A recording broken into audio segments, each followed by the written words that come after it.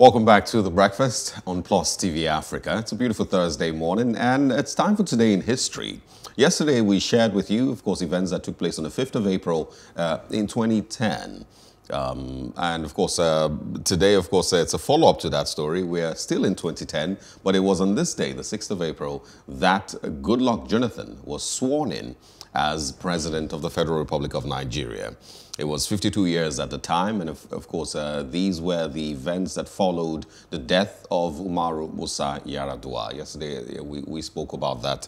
Um, he was sworn in, uh, you know, as President of Nigeria hours after the death of incumbent Umaru Yar'Adua in accordance with the order of succession in the Nigerian constitution following Yar'Adua's death on 5th of May.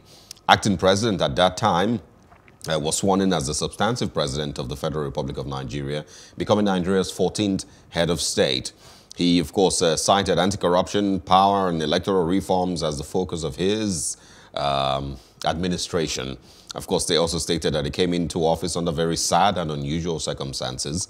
He eventually then lost the 2015 presidential elections to um, well, current President Muhammadu Buhari, making it the first time in history that um, an incumbent in Nigeria's presidential space general has uh, lost his chance at uh, re-election.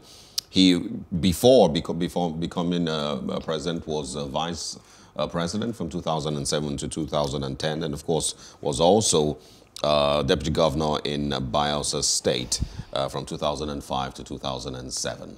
Um, and that is a very, very short story concerning Goodluck Jonathan. Um, from 2010 to 2015 is a longer story of so much that happened. Mm. Um, and I think the last year of Goodluck Jonathan's administration um, packs most of the drama that he had as a president. The first couple of years, yeah, you know, he, he you know, did, you know, um, run the ship or run the Nigerian ship as a president. Um, but the last year, the whole of the 2014 year really was where all the drama concerning his presidency um, um, um, emerged.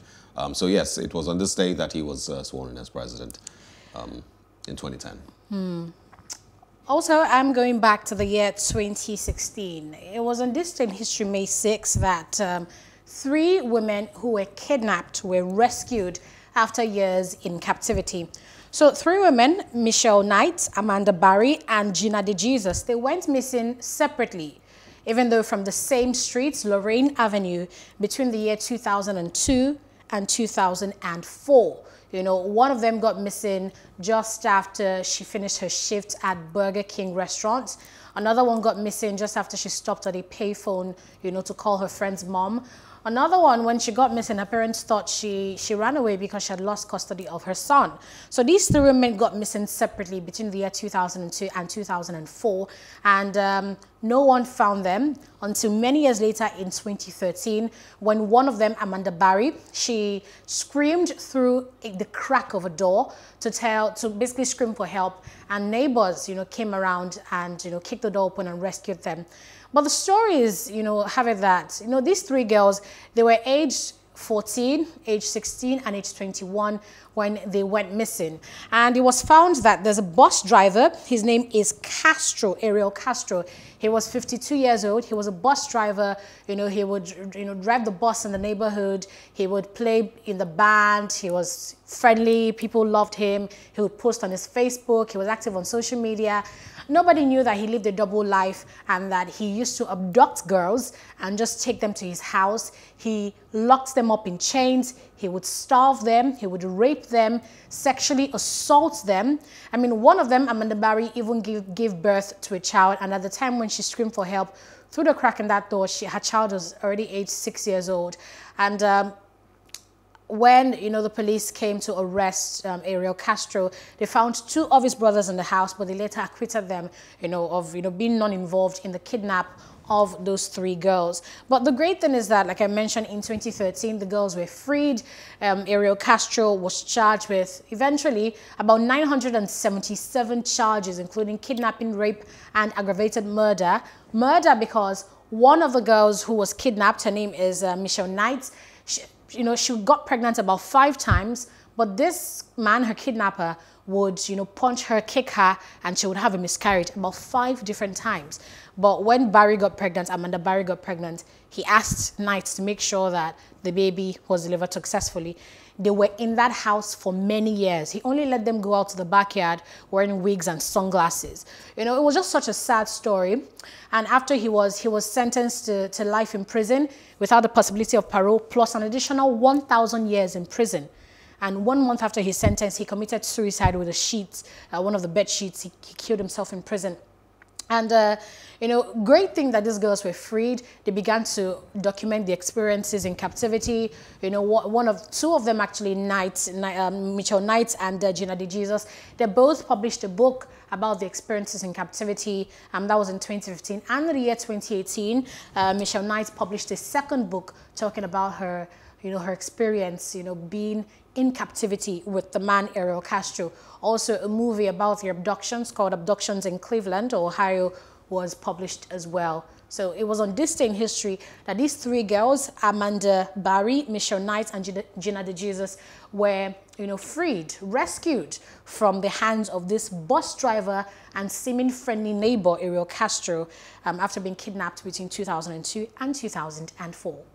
It's a wild story. I remember um, when this broke um, um, a couple of years ago. It was all over CNN, um, and it was just too shocking, to, you know, to believe that you know people could be in captivity for more than a decade, um, and nobody knew, nobody heard, nobody you know had any idea, you know, where these people are. They were declared missing, um, almost never to be found again, and you know, shocking. They were just in the basement of someone's house who was very popular in the community as a regular person, a bus driver, um, that everyone knew as you know, just a friendly neighbor, not knowing that he was an animal.